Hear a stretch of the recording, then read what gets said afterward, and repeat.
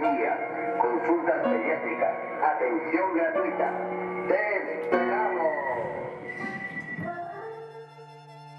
Que éramos muy jóvenes cuando el, el- el grupo base eh, quería hacer teatro pero no tenía las herramientas, ni tampoco nos parecían que las escuelas oficiales respondían a las necesidades del tipo de teatro que queríamos hacer, ¿no?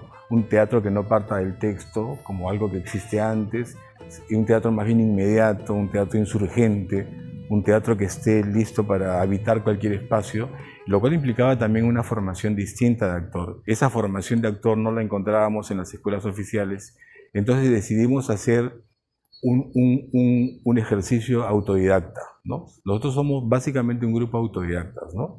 Y, el- el primer ejercicio autodidacta fue con una comunidad de un grupo de, de teatro de la periferia de Lima, de la zona del Agustino, jóvenes que nos dijeron, ustedes quieren hacer teatro para el pueblo, vengan no de visita, sino vengan a quedarse con nosotros.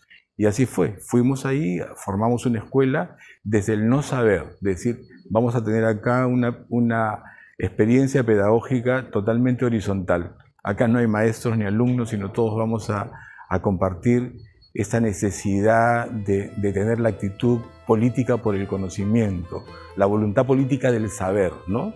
Y del saber en función también del tipo de teatro que, que queríamos hacer, un teatro dialogante, un teatro que, que se reconozca como parte de una historia cultural y que reconozca también su, su contemporaneidad. Y de esa manera se ha introducido en el grupo como una conciencia de registrar cada proceso. Entonces, cada proceso de obra ha significado generar reflexión, conocimiento, si acaso teoría, ¿no? Sobre lo que, sobre lo que hemos venido construyendo. Entonces, eso se ha ido organizando.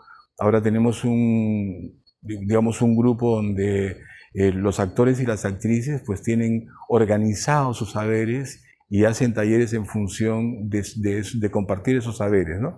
Esos saberes están basados en la diversidad, en reconocer cómo una teatralidad de Vivascani se ha generado justamente reconociéndonos en la diversidad de lo que somos como, como personas y reconociendo esa diversidad no como caos, sino como, como riqueza, como, como, como riqueza y como necesaria este, negociación intercultural también, que es yo creo que esa es el- la, la gran actitud que necesitamos en, en el Perú y en la América Latina. O sea, no solamente eh, reconocer nuestras diferencias, sino también tener un piso común para podernos comunicar.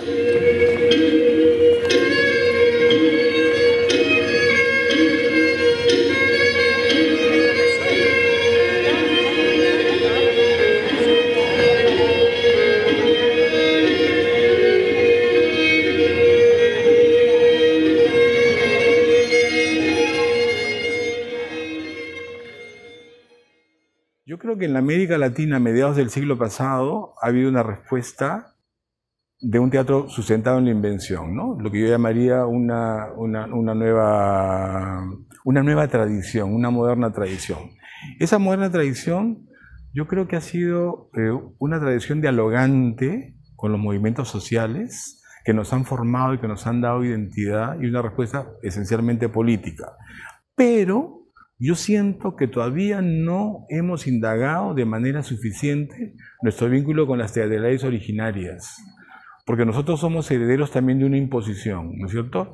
La, la lengua llega a la América Latina no para dialogar, sino llega para imponer y es un ejercicio de poder, ¿no es cierto? Entonces nosotros no podemos asumir que el teatro es un género literario, o sea, la literatura dramática es un componente. Entonces, esa, esa bandera de lucha de mediados del siglo pasado ha sido muy importante para reconocernos y ver y, y- y las teatralidades de las culturas, cómo dialogan esas teatralidades con nuestras propuestas eh, contemporáneas, ¿no?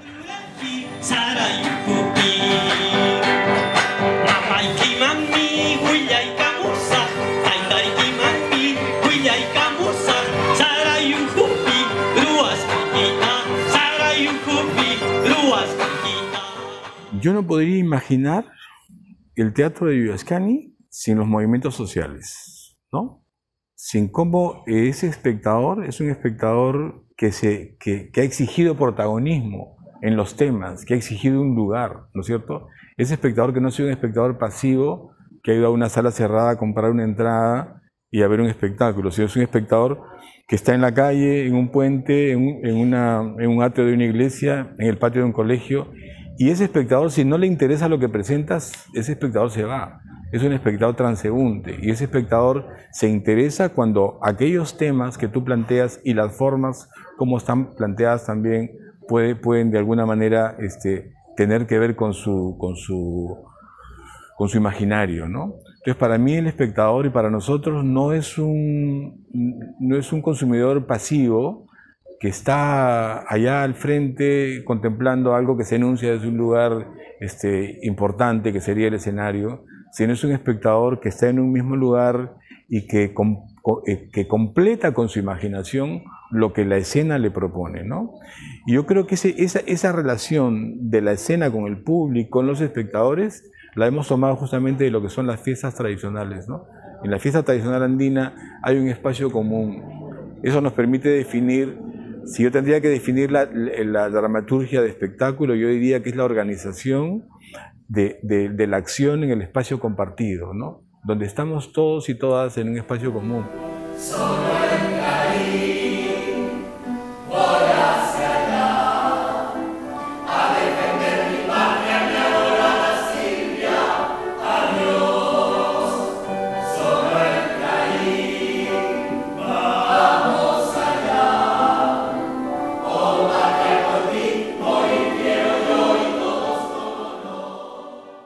La creación colectiva para nosotros es una actitud que tiene que ver con una respuesta política que se da en la América Latina a mediados del siglo pasado, lo que hemos llamado una insurgencia del teatro latinoamericano, cuando nuestros viejos maestros nos llamaron a inventar el teatro que sea necesario. O sea, yo creo que es una, una actitud básicamente anticolonial, ¿no? Porque es, es plantear el teatro desde decir quiénes somos, dónde estamos y pensar nuestro, nuestro teatro situado en nuestra realidad. Entonces, la creación colectiva, primero, antes que nada, es una respuesta política para dar opinión, para decir, para dialogar con los sueños, con las esperanzas de nuestros países. Entonces, la creación colectiva está asociada a, una estructura también que es el teatro de grupo, ¿no? El teatro de grupo y la creación colectiva generan eh, un, nuevo actor, y cuando digo actor digo actriz también, que se hace responsable de lo que dice y hace sobre el escenario y surge esta categoría de actriz creadora. Entonces la creación colectiva es, es eh, esencialmente un nuevo modo de producción, un nuevo modo de producción antijerárquico, ¿no? que recoge saberes de una comunidad artística que quiere dialogar con su tiempo.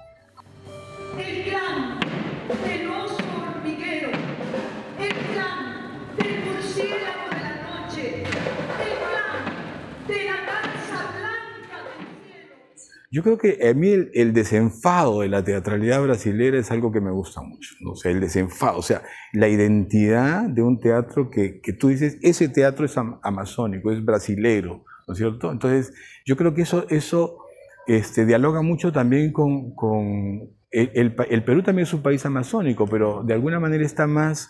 Eh, el territorio mayor de Perú es amazónico, pero sin embargo el Perú está asociado más con la cultura andina, ¿no? con, lo, con la cultura tradicional andina.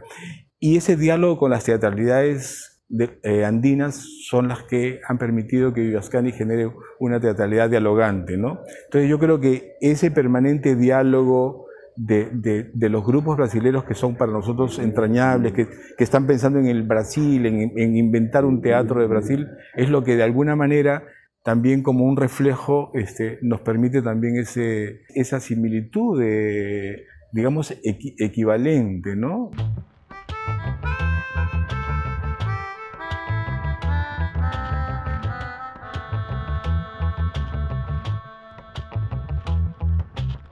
Yo no puedo dejar de pensar eh, en mirada simplemente como una, como una continuidad, sino tengo que pensarlo después de una crisis del cuerpo, de una crisis civilizatoria, ¿no es cierto?, que, que ha sido la pandemia y que de alguna manera es algo que no ha terminado y que tenemos que, eh, eh, fundamental es repensar qué significa, ¿no es cierto?, pensar en un teatro situado en este tiempo y en este momento social, en este momento histórico. Entonces, yo creo que Mirada nos devuelve esa posibilidad de, encuentro, ¿no?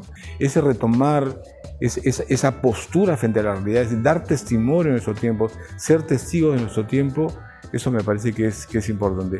Eso, hay esas razones para que uno agradezca ese encuentro, que es un encuentro renovador, es un encuentro de, este, de retomar algo que, que, no debe perderse, ¿no?